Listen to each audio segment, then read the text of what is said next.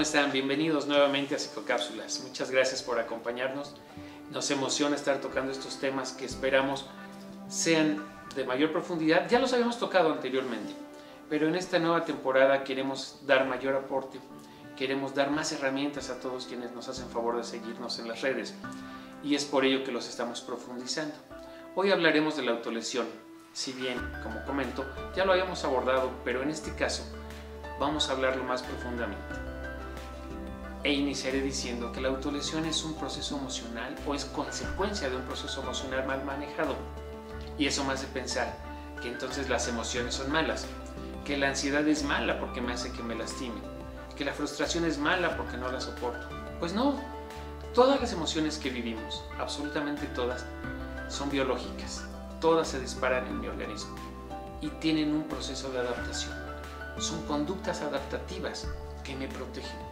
El enojo, el miedo, el rechazo por algo, la frustración, que es una emoción compleja. Todas las emociones tienen un propósito y este propósito es protegerme. Yo no voy a comer algo que me da asco porque me va a enfermar. Biológicamente me protejo. Cuando estoy enojado me puedo poner a la defensiva. Cuando algo me espanta voy a huir. Entonces si yo analizo todas las emociones, tienen una función, tienen una naturaleza biológica. Sin embargo, el manejo descontrolado de esto, la no regulación emocional, el no tener herramientas para el manejo emocional, me lleva a que sus consecuencias sean negativas. No hay emociones buenas, no hay emociones malas. Lo que les va a dar la valencia negativa o positiva es lo que yo hago con ellas. Dicen por ahí algunos autores que la ansiedad es el motor que ha hecho que la humanidad evolucione. ¿Por qué? Porque algo me incomoda, algo no me deja estar satisfecho y busco cómo resolverlo. Entonces a través de este desequilibrio aprendo, evoluciono, mejoro, crezco. Pero cuando está la ansiedad que se desborda, se vuelve angustia y la angustia es paralizante. Si no sé manejar mi ansiedad en un plano positivo, llego al siguiente nivel de angustia y esta me bloquea, me daña, me deteriora. Por ello es entonces que es importante hablar de la regulación emocional. Volvamos a la autolesión. La autolesión es consecuencia de ansiedad, angustia, miedo, frustración, enojo y no sé qué hacer con ellos. No los controlo.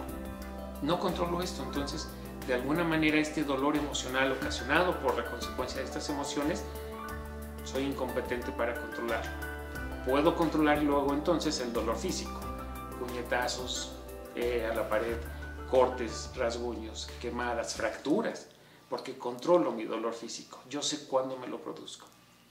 Quien lo vive de esta manera, aguas, no tiene un trastorno, no está loco, no lo puedo estigmatizar, pero tampoco puedo decirle, ya no lo hagas, porque no es una medida que yo diga, ay, no, ya no lo voy a hacer. No, es un proceso. La autolesión me da de manera momentánea calma, me da tranquilidad. Yo estoy muy enojado y entonces me corto, me rasguño esto me da tranquilidad, aparentemente. Pero después tengo el sentimiento de culpa por haberme lesionado y tengo el enojo primario, entonces no resolví nada. Es un círculo vicioso. En lugar de resolver, va a ir creciendo la espiral. Cada vez las lesiones serán más profundas, cada vez las lesiones serán más graves porque las emociones van a ser más intensas y no estoy resolviendo nada. ¿Qué tengo que hacer aquí? Aprender a manejar mis emociones. En estos procesos la terapia cognitivo-conductual nos ayuda mucho porque nos da herramientas. De manera muy genérica yo puedo darte en este momento tres consejos para ayudarte a disminuir el impulso de la autolesión. Uno, como lo vimos en cápsulas pasadas, la técnica de respiración profunda, que también puedes controlar. La respiración tú la controlas. Respira profunda y recuerda por ahí, busca aquella cápsula del conteo digital, contar sobre cosas bonitas. Si estoy muy enojado, estoy muy tenso, empiezo a respirar y me empiezo a acordar de cosas bonitas, lo que comí, lo que me compré, el 10 que saqué, el programa que vi, empiezo a darle vueltas o incluso de los cumpleaños de mi familia, no sé, respirando profundamente y contando cosas bonitas que te hagan sentirte menos mal, no estoy diciendo mejor. O había una técnica que también está en una cápsula, búscala, el grounding es un proceso de respirar en tres tiempos, exhalar en seis, buscar cinco cosas que puedas ver, cuatro que puedas tocar, tres que puedas oler, que te acuerdes de dos cosas que puedas comer, incluso cierras tus ojos y sigues respirando, dos cosas que puedas comer y uno, una emoción grande y positiva.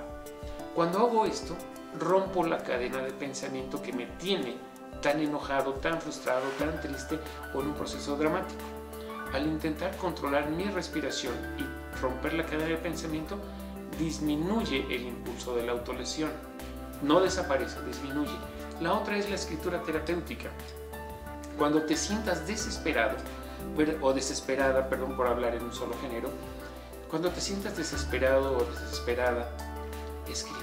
¿Por qué me siento así? ¿Qué me hizo enojar? ¿Cómo me siento? ¿Qué lo detonó? ¿Qué lo activó?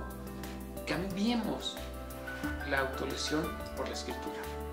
Al principio va a ser complicado, no va a fluir tan fácilmente, pero cuando empieces a darte cuenta de que lo puedes controlar a través de la escritura, va a ser una buena medida.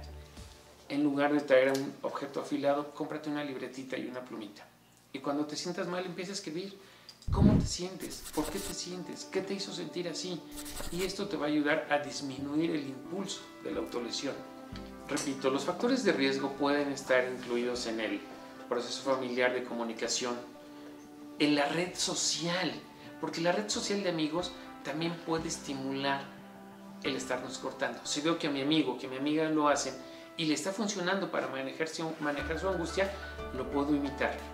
La falta de comunicación, la falta de herramientas para manejar mis emociones, todos estos son factores de riesgo. Pero, como son factores de riesgo, todos ellos se pueden corregir, se pueden mejorar. El primer punto será identificar tus emociones. Te repito, la escritura terapéutica te va a ayudar muchísimo. Escribe cómo te sientes cuando te sientas mal y por qué te sientes así. Va a ayudar a encontrar la emoción. Y una vez que encontramos la emoción podemos trabajar en su causa. Dentro de las medidas que me ayudan a controlar los factores de riesgo es la escritura terapéutica. Una, rompo la cadena de pensamiento que me tiene en angustia o me tiene alterado. Dos, empiezo a escribir, permito la salida de esta emoción, la registro y después la puedo analizar. Voy teniendo herramientas para el manejo de la emoción. Además, mejorar la comunicación en familia es básico. Hablar. En estos procesos emocionales nadie está loco, nadie tiene un trastorno. Eso será el siguiente nivel, será el paso clínico. Pero en este punto no estás loco, no estás loca, no estás mal.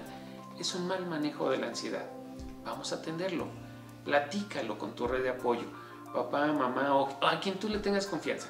No todas las familias ni todas las redes de apoyo son iguales, pero si hay gente a quien le tengo confianza, un profe, un compañero, platícalo, coméntalo. Ajá.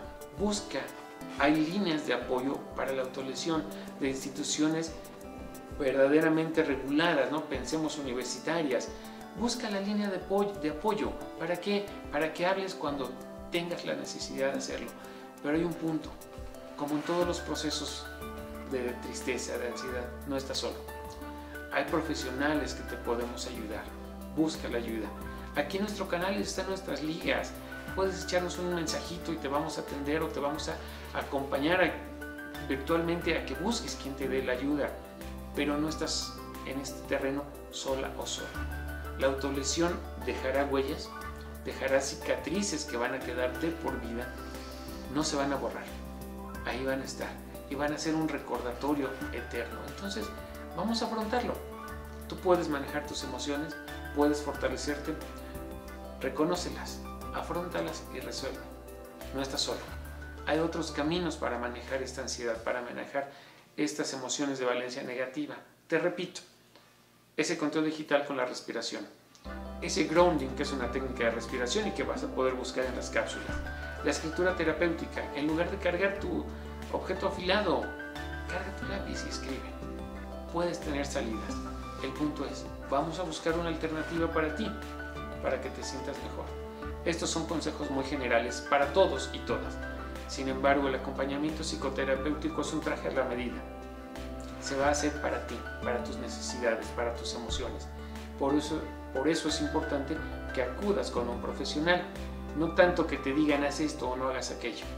Es algo que no puedes controlar. Entonces, busca la ayuda de alguien, de alguien profesional. Utiliza tu red de apoyo.